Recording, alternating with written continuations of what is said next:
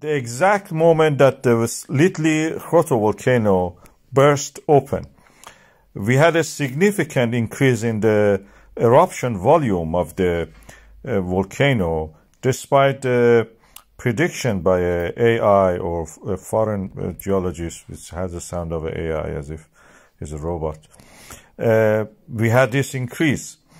And then we had a breach of the wall, and the next moment, you cannot believe it, what's happening.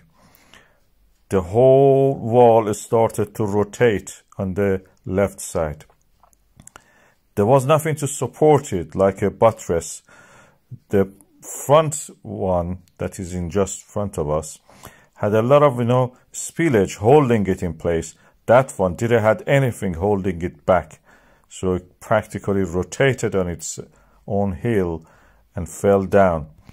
Uh, this practically emptied the cauldron or the crater of the volcano, and the lava burst open toward the slightly northwest, west, and the southwest.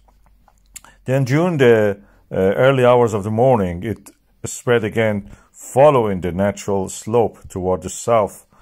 And as you can see here, is gradually opening to that way. In the meantime, the old canyon to the right uh, is drained of fresh lava. There is no lava there.